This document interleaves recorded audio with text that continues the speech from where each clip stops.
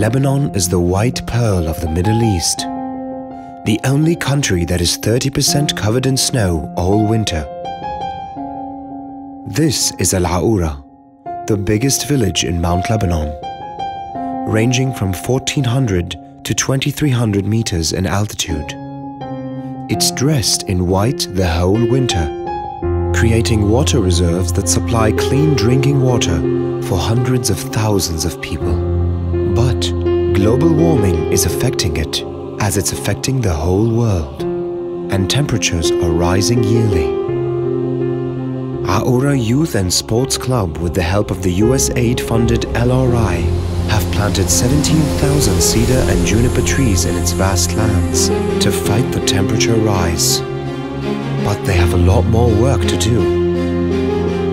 Join us on February 25th to discover this beautiful white region and learn more about the importance of conserving the snow and how each one of us can contribute.